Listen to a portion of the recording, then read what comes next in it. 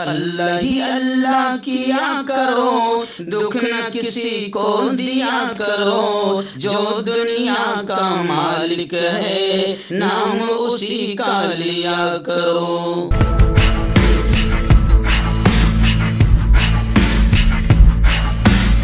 तकमीली तलबीना, ताकत, सेहत और शिफा के लिए सुन्नत और तिब्ब नबवी का बेहतरीन नुस्खा। अभी ऑर्डर करें, कम पैसे में हमारे साथ बिज़नेस शुरू करें। भारत भर से डिस्ट्रीब्यूटर और होलसेलर बनने के लिए अभी कॉल करें। नौ पाँच सात नौ पाँच नौ एक नौ सात पाँच। Takmeeli food products private limited Malegaon India. जोड़ों की पुरानी से पुरानी लाइलाज तकलीफ़ जैसे घुटनों का दर्द पीठ और कमर का दर्द कंधे गर्दन और पैरों में दर्द के लिए संधि प्लस देसी शिफा लाए हैं मर्द और औरतों के तमाम गुप्त रोगों का इलाज। पहली खुराक में हैरत अंगेज असर देखें। अगर आप हमसे इंडिया और इंडिया से बाहर दवाई हासिल करना चाहते हैं, स्क्रीन पर दिए गए नंबर पर कांटेक्ट करें। Thank you. असलकम वरहमतुल्लाहि वबरकातुहू। नाजरीन, इस्तकबाल है, स्वागत है आपका viral news live studio Jalgaon, Maharashtra, India में। मैं आपका मेज़बान मुफ्ती मोहम्मद हारून नदवी। आइए प्यारे मुल्क भारत की बहुत ही ख़ास बड़ी दस अहम खबरों पर नज़र डालते हैं। जी हाँ नाजरीन, सबसे पहले मैं अपील करूँगा कि जो साथी नए हैं और अभी तक इस बेबाक सच्चे चैनल से जुड़े नहीं हैं, अगर आप चाहते हो कि आपको मुल्क, भारत की और पूरी दुनिया की सही और सच्ची खबरें देखने और सुनने को मिलें तो फिर आप इस चैनल से जुड़ जाइए। सब्सक्राइब कर लीजिए हमारे इस चैनल को, बेल आइकॉन घंटी के बटन को भी दबा दीजिए ताकि हमारी हर खबर, हर वीडियो आपको आपके मोबाइल पर मिल सके। और हाँ नाजरीन, हम हर रोज़ एक अपील करते हैं कि प्लीज़ एक प्राइवेट चैनल है और चैनल चलाने के लिए पूरी एक टीम काम कर रही है। बड़ा रुपया पैसा खर्च होता है। अगर आप चाहते हो कि ऐसे चैनल जो जुल्म और ालिमों के ख़िलाफ़ बेबाक अंदाज में बोल रहे हैं, अगर आप चाहते हो कि ऐसे चैनल मज़बूत हों, बाकी रहें, आगे बढ़ें, तरक्की करें तो प्लीज़ आप ऐसे चैनल की फाइनेंशियल हेल्प माली ताउन माली मदद ज़रूर कीजिए स्क्रीन पर आप नज़र डालें, हमारे चैनल का बैंक अकाउंट नंबर भी दिया जाता है। और अगर आप ऑनलाइन पैसा भेजकर मदद करना चाहते हैं तो गूगल पे फ़ोन पे और पेटीएम तीनों का नंबर एक ही है double nine two three double two double three six one अल्लाह ने जो भी आपको ताकत दी है, उस एतबार से आप हर दिन या हफ़्ते या महीने में एक बार ही सही, मगर पाबंदी से दो सौ, पाँच सौ, हज़ार रुपये जो आप मदद कर सकते हैं, मदद कीजिए और चैनल को मज़बूत कीजिए। नाजरीन, आज जुमेरात का दिन है और जुमेरात को रात में साढ़े नौ बजे इसी चैनल पर हमारा किसी अहम टॉपिक पर, अहम उनवान पर लाइव बयान होता है, जो डेढ़ महीने से रमज़ानुल मुबारक की वजह से बंद था, लेकिन फिर अब यह सिलसिला शुरू हो रहा है और आज का हमारा बड़ा अहम अनवान है कि आखिर अल्लाह रब्बुल इज़्ज़त ने हमें रमज़ान क्यों दिया था? रमज़ान क्यों आया था? क्या हमने खोया? क्या पाया? किस तरह हमने गुजारा? और क्या करना चाहिए अब? तो इन तमाम बातों पर बड़ी अहम बात होगी अपनी पूरी फैमिली के साथ रात साढ़े नौ बजे इस बयान को लाइव आप ज़रूर सुनिए। आइए नादिन पहली बड़ी खबर इस वक्त मेरी निगाहों के सामने आ रही है, जो बड़ी अच्छी और खुशी की खबर मानी जा रही है कि गद्दारी कानून पर सुप्रीम कोर्ट ने आखिर रोक लगा दी। दफ़ा 124 ए के तहत किसी पर अब एफआईआर दर्ज न करने का हुक्म सुप्रीम कोर्ट ने दे दिया और इस दफ़ा के तहत गिरफ़्तार अफराद को जमानत और राहत के लिए अदालत से रुजू करने की सहूलत मिल गई। राहुल गांधी ने बड़ी टिप्पणी करते हुए ये कहा कि सच बोलना हब्बुल वतनी है, वतन से प्यार है, गद्दारी नहीं है। एक्चुअल में वक्त की हुकूमत क्या कर रही थी कि जो भी सच बोल रहा है इनकी गलत नीतियों के खिलाफ बोल रहा है तो वो अंग्रेज़ों वाला कानून इन्होंने जारी रखने की कोशिश की थी ताकि अपने अपोजिशन को उठाकर कानून के तहत 124 ए के तहत जेल की सलाखों में ठूंस दिया जाए, चाहे वो लिखने वाला हो या बोलने वाला हो, लेकिन सुप्रीम कोर्ट ने अब इस गद्दारी वाले, गद्दार कानून पर गोया के रोक लगा दी है। और दफ़ा 124 ए के तहत किसी पर एफआईआर दर्ज न करने का हुक्म जारी कर दिया है। मैं आपको बताऊँ कि इस कानून के रद्द किए जाने के बाद बाकायदा शरद जी पवार और तमाम ही लोगों ने, राष्ट्रवादी कांग्रेस, तमाम ही लोगों ने बाकायदा इस फैसले पर खुशियों का इजहार किया। मैं आपको बता दूँ कि हमारे हर दिल अज़ीज़ नौजवान एडवोकेट वकील शाहिद नदीम साहब जो हमारे जमीयत उलमा के बाकायदा एडवोकेट है लीगल एडवाइज़र है, इन्होंने भी बाकायदा मुल्क से बगावत का कानून 124 ए का पस मंज़र पूरा बयान किया है और पूरी तरीके से पोल खोल के रखा है कि किस तरीके से इस कानून का हुकूमत अपनी हिजब मुखालिफ के लिए गलत इस्तेमाल करती थी या करती आई है। और यही नहीं, बल्कि इस कानून का गलत इस्तेमाल अंग्रेज़ों ने देवबन और जमीयत हिंद के ख़िलाफ़ इस्तेमाल किया था। क्योंकि देवबन हमारे ये बाकायदा अंग्रेज़ों की उस हुकूमत के ख़िलाफ़ मुल्क को आज़ादी दिलाने के लिए लड़ते थे और अंग्रेज़ी हुकूमत के ख़िलाफ़ बाकायदा बोलते थे, लिखते थे, भाषण करते थे। तो अंग्रेज़ हुकूमत इस कानून के तहत कराम को जेल की सलाखों में ठूंसती थी। और आज उसी कानून का गलत इस्तेमाल, अंग्रेज़ तो चले गए, मगर उसी कानून का गलत इस्तेमाल किया जा रहा था, जिस पर अल्हम्दुलिल्लाह सुप्रीम कोर्ट ने रोक लगा दिया। से दूसरी बड़ी खबर, रियासत महाराष्ट्र के मुंबई से हमारे रिपोर्टर मुफ्ती अबू अयूब ने बताया कि राज ठाकरे को जान से मारने की धमकी की खबरें आ रही है। और अब मुसलमानों की तरफ़ शक की सुई घुमाने की कोशिश की जा रही है। एक्चुअल में राज ठाकरे का मकसद ही यही है, जो हनुमान चालीसा और अजान को लेकर जो मुद्दा उठाया, हिंदू मुसलमान करवाने का मकसद है। तब उसमें तो कामयाब हुए नहीं। तब इनको धमकी आ गई तो उस धमकी में भी मुसलमान को कैसे घुसेड़ा जाए, इसकी बात की जा रही है। उर्दू अल्फाज के इस्तेमाल का दावा किया जा रहा है। यानी उर्दू अल्फाज के इस्तेमाल से शक की सुई मुसलमानों की तरफ़ घुमाने की कोशिश की जा रही है। बालानंद गाँव कर ने तो धमकी देते हुए कहा कि राज ठाकरे को कुछ हुआ तो महाराष्ट्र जल जाएगा। तो मैं आपको बता दूँ कि राज ठाकरे को तो बाकायदा भाजपा के संसद ने धमकी देते हुए ये कहा है कि राज ठाकरे अयोध्या आ नहीं सकता जब तक कि उत्तर भारतीयों से हाथ जोड़कर माफ़ी न मांगे। और इतने सख्त अल्फाज बीजेपी के सांसद ने कहा है कि राज ठाकरे के बाप की ताकत नहीं है कि वो माफ़ी मांगे बगैर अयोध्या आ जाए। तो राज ठाकरे को जवाब जो है हिंदू भाइयों ने ही दे दिया है। राज ठाकरे का जो नफरती भोंगा खुला था मुँह तो उसका भी जवाब खुद हमारे महाराष्ट्र से लेकर भारत भर के हिंदू भाइयों ने दे दिया है। और सब समझ गए कि राज ठाकरे जी किराए का भोंगा है जो महाराष्ट्र के माहौल को खराब कर रहे थे किसी के इशारे पर, लेकिन महाराष्ट्र के हिंदुओं ने भी राज ठाकरे के नफरती भोंगे को बजने नहीं दिया। आइए नादिन बड़ी खबर इस वक्त मुंबई से ही आ रही है। जी हाँ मुंबई के मुमरा से खबर आ रही कि मुमरा पुलिस ने छापे की आड़ में छः करोड़ रुपए पुलिस वालों ने लूटे थे। या तोड़ी पानी जब होती ना कि ये लोग छापा मारते हैं तो अक्सर ये सुनने में आता है, जो बड़ी अच्छा नहीं लगता है कि ये ये भी बाकायदा मुल्क से बड़ी गद्दारी है। कि कुछ पुलिस वाले इस तरीके से हरकत करते हैं कि जिस माल पर छापा मारा गया वहीं पर तोड़ी पानी करके मामले को रफा दफ़ा कर देते हैं। तो खबरें आ रही है कि इस मामले में मुमरा पुलिस स्टेशन के अफसरान ने अपने मुखबिरों के साथ मिलकर 12 अप्रैल को बॉम्बे कॉलोनी में एक खिलौने के व्यापारी के घर पर छापा मारकर 30 करोड़ नकदी बरामद किए थे मगर उस पर कार्रवाई करने के बजाय उन पुलिस वालों ने 6 करोड़ रुपए जबरन रख लिए और बाकी लौटाकर मामला रफा दफ़ा कर दिया था। आखिर तीन पुलिस अफसरान, तीन अफसरान और सात पुलिस एहलकार मअतल कर दिए गए हैं। ए सी पी और सीनियर इंस्पेक्टर के खिलाफ मुहकमाती तफ्तीश का हुक्म जारी कर दिया गया है। आइए नादिन रियासत कर्नाटक से नीच खबरें, नीच नाटक कर्नाटक में तो लगातार हो रही है। हिजाब की नीच नाटक वहीं से शुरू हुई थी, वहाँ के कुछ आतंकी जहन के लोगों ने ये मसला शुरू किया था और अब फिर बाकायदा आतंकी लोगों ने एक मस्जिद के मीनारे पर भगवा झंडा लहराया। बेलगावी में मुसलमाना ने कर्नाटक में इसको लेकर ज़बरदस्त गमो गुस्सा पाया जा रहा है। शर पसंदों और इन आतंकियों की गिरफ्तारी का डिमांड किया जा रहा है। मैं आपको बता दूँ कि कर्नाटक में नीच नाटक बदस्तूर शुरू है और अब मजहबी हम आहंगी को बिगाड़ने की कोशिश की गई।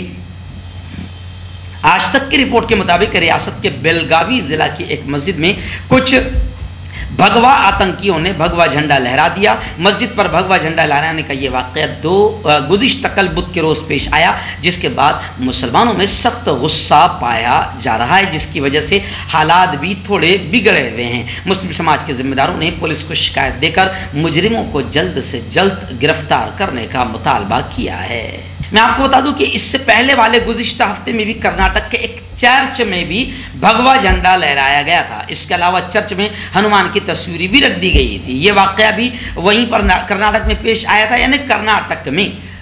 क्रिश्चन हो या फिर मुसलमान हो, अल्पसंख्यक और माइनॉरिटी के खिलाफ लगातार भगवा आतंकी आतंक का जहर गोल रहे हैं और नफरतों का माहौल पैदा करके माहौल को बिगाड़ने की कोशिश कर रहे हैं। आइए नादिर ऐसी ही एक बड़ी खबर फ़िलहाल रांची से आ रही है। जी हाँ एक आईएएस अफसर है पूजा सिंघल। झारखंड मनी लॉन्ड्रिंग मामले में गिरफ्तारी की तलवार लटक गई। पाँच दिनों की ईडी तहवील में उनको ले लिया गया। कोलकाता समेत उनके कई नज़दीकी अफराद के ठिकानों पर भी छापे मारे गए हैं। मैं आपको बता दूँ कि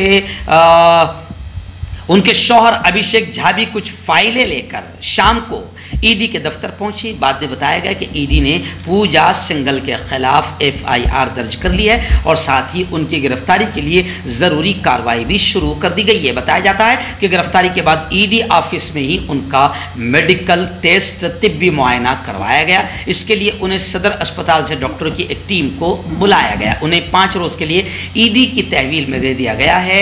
झारखंड मनी लॉन्ड्रिंग मामले में ये आई अफसर पूजा सिंगल को तहवील में ले लिया गया।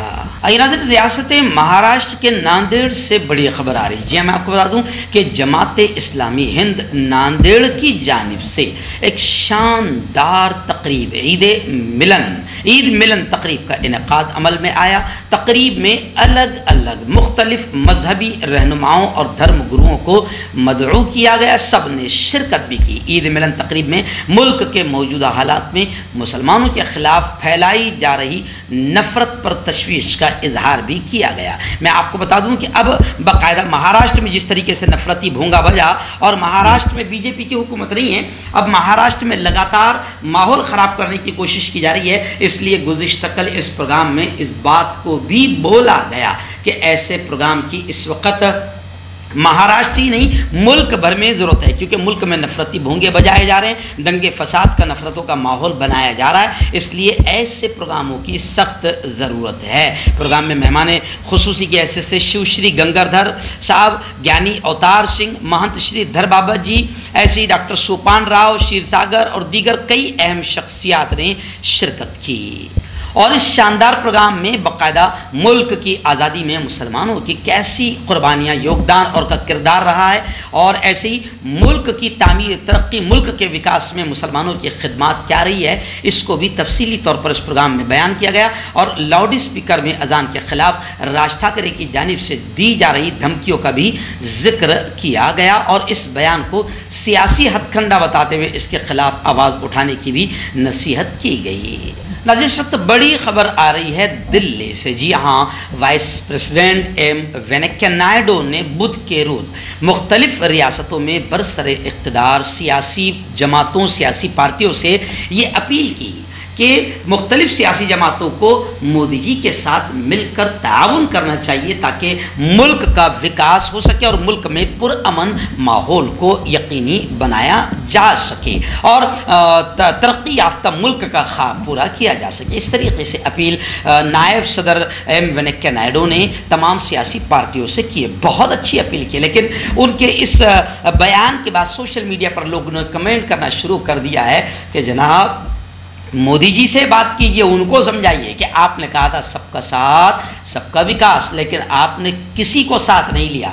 बल्कि जहाँ, जिस स्टेट में आपकी हुकूमत नहीं है तो आपने उस स्टेट को, वहाँ की स्टेट की पार्टियों का यह कहना है कि आपने पूरी तरीके से उनको कुचलने का, दबाने का, सताने का काम किया है। आपने किसी भी स्टेट की मदद नहीं की है, जहाँ पर आपकी हुकूमत नहीं है तो आपने किसी को साथ लिया ही नहीं। और अब श्रीलंका के बुरे हाल हालात को देखकर अब आपको भी चिंता सताने लगी है तो अब आप विनक्का नायडू जैसे लोगों से कहलवा रहे हैं कि सबको चाहिए कि मोदी जी का साथ दें पहले आप साथ दें। और जहाँ तक कि विनक्का नायडू ने कहा है कि मुल्क में पुरअमन शांत का शांतता का माहौल बनाने के लिए मोदी जी का साथ दें। तो लोग सोशल मीडिया पर यह भी कमेंट कर रहे हैं कि किसी का साथ देने की ज़रूरत नहीं है। मोदी जी से कहिए कि आप अपने मन में ये लाइए तो सही आप अमन की बात कीजिए तो सही। और जो आतंकवादी मुल्क में माहौल नफरतों का बना रहे हैं, रैलियाँ निकाल कर मुस्लिम मोहल्लों में घुस कर मस्जिदों पर भगवे झंडे लहरा कर दंगे फसाद करवा रहे हैं। मोदी जी, सिर्फ़ आप उनके खिलाफ बोल दीजिए ऑटोमेटिक मुल्क में अमन का माहौल बन जाएगा। लेकिन आपके खामोश रहने की वजह से इन आतंकियों के हौसले बढ़ रहे हैं। इसलिए लोग कह रहे हैं वेंकैया नायडू से कि अपने पीएम से ही कह दीजिए कि आप सिर्फ़ मुँह खोल दीजिए और इन आतंकियों के खिलाफ कार्रवाई की बात कर दीजिए तो सारा मुल्क में अमन फैल जाएगा। दिन दिल्ली से बड़ी खबर आ रही है। जी, आप जानते हैं कि दो साल से जेल की सलाखों में बंद स्टूडेंट लीडर गुलफशा फातिमा की अर्जी पर हाई कोर्ट ने दिल्ली हुकूमत को नोटिस दिया। आप जानते हैं कि बुध के रोज़ दिल्ली हाई कोर्ट ने बुध के रोज़ 2020 के दिल्ली फसादात के मामले में तलबा लीडर एक्टिविस्ट गुलफशा फातिमा की अर्जी पर दिल्ली हुकूमत से जवाब मांगा है। आपको याद होगा कि दिल्ली हुकूमत भी बताने की ज़रूरत नहीं है। जी हाँ इन लोगों ने किस तरीके से सी ए के मौके पर बाकायदा मुस्लिम बेटियों को, मुस्लिम तलबा यूनियन लीडर्स को दबाने, कुचलने का काम किया और जेल की सलाखों में ठूंस दिया है। बेटियाँ भी आज तक दो साल से जेल में कैद है, जेल की सलाखों में। तो अब जनाब, तलबा लीडर गुलफशा फातिमा ने हाई कोर्ट में अर्जी दी, जिस पर दिल्ली हुकूमत से हाई कोर्ट ने जवाब मांगा है और दिल्ली हुकूमत को नोटिस दी है। आइए नादिन बड़ी खबर आ रही है रियासत मध्य प्रदेश के उज्जैन से।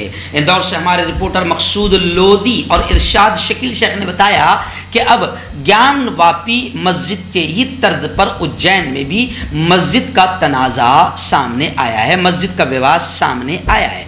ज्ञान वापी मस्जिद तनाज़े की तर्ज पर मध्य प्रदेश के उज्जैन में भी एक पुरानी मस्जिद के अंदर गणेश और शिव की मूर्तियों के होने के दावे को लेकर विवाद शुरू हो गया है। महामंडलेश्वर महाराज उज्जैन शिप्रा नदी के किनारे वाक़ एक हज़ार साल पुरानी मस्जिद में भगवान शिव और गणेश की मूर्तियों के न सिर्फ़ होने का दावा किया, बल्कि बनारस ज्ञानवापी मस्जिद की तर्ज पर उज्जैन मस्जिद का सर्वे करने और उसकी वीडियोग्राफी करने का डिमांड किया है। आपको मैं बता दूँ कि इस मुल्क का ये मुद्दा बिल्कुल नहीं है। लेकिन क्या करें? बाबरी मस्जिद पर 25-30 साल तक के रोटियाँ सेकी गई और बाबरी मस्जिद ने बहुत कुछ दे दिया।